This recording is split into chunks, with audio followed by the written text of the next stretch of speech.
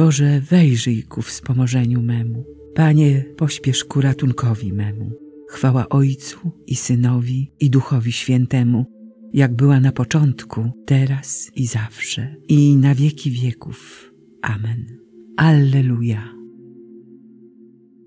Zebrani w dnia połowie, by głosić chwałę Boga, wyznajmy naszą wiarę i prośmy Go pokornie, bo choć w wieczności mieszka, do Niego czas należy i bliski jest każdemu, kto spełnia Jego wolę.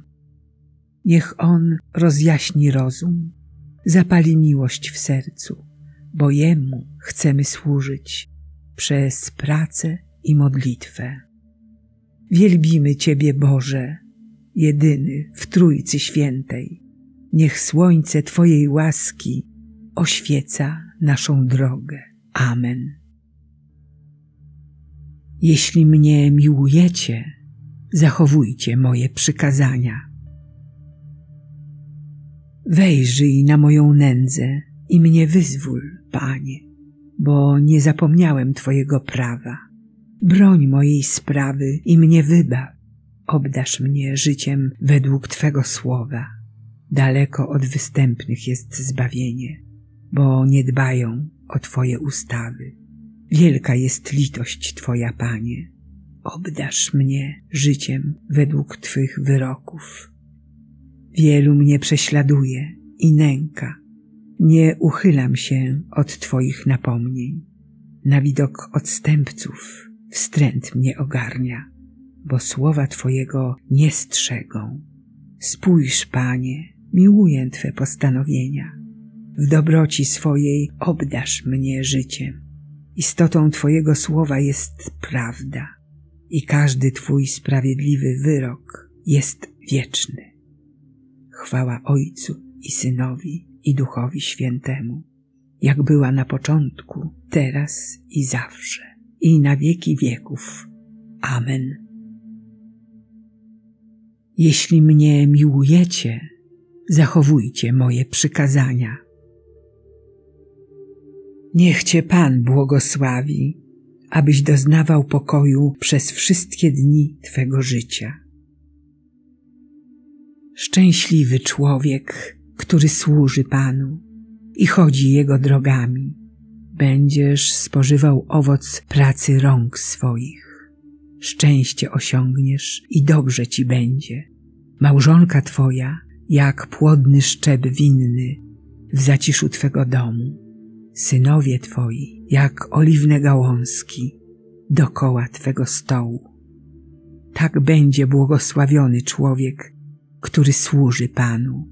Niech Cię ze Syjonu Pan błogosławi i obyś oglądał pomyślność Jeruzalem przez wszystkie dni Twego życia, obyś oglądał potomstwo swych dzieci, pokój nad Izraelem. Chwała Ojcu i Synowi i Duchowi Świętemu, jak była na początku, teraz i zawsze, i na wieki wieków. Amen. Niech Cię Pan błogosławi, abyś doznawał pokoju przez wszystkie dni Twego życia. Bóg pokonał Twoich nieprzyjaciół.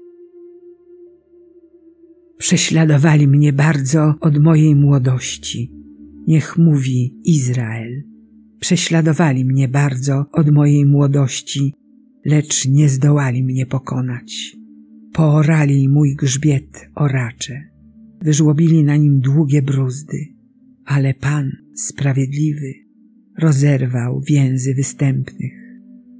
Niech się zawstydzą i cofną wszyscy, którzy nienawidzą Syjonu. Niech się staną jak trawa na dachu, która usycha, nim ją wyrwą. Nie napełni nią kosiarz swej ręki, ani zanadrza ten, który zbiera snopy. A przechodnie też nie powiedzą, błogosławieństwo Pańskie niech będzie nad wami. Błogosławimy wam w imię Pana. Chwała Ojcu i Synowi i Duchowi Świętemu, jak była na początku, teraz i zawsze, i na wieki wieków. Amen. Bóg pokonał Twoich nieprzyjaciół. Wiele znaków i cudów działo się przez ręce apostołów wśród ludu. Coraz bardziej też rosła liczba mężczyzn i kobiet przyjmujących wiarę w Pana. Zachowywali przykazania Boga i prawa, które im nadał. Módlmy się. Boże, Ty w niewysłowionym miłosierdziu wybrałeś celnika Mateusza na apostoła. Spraw za jego wstawiennictwem, abyśmy jak on szli za Chrystusem i wiernie przy nim trwali, który żyje i króluje na wieki wieków. Amen. Błogosławmy Panu, Bogu niech będą dzięki.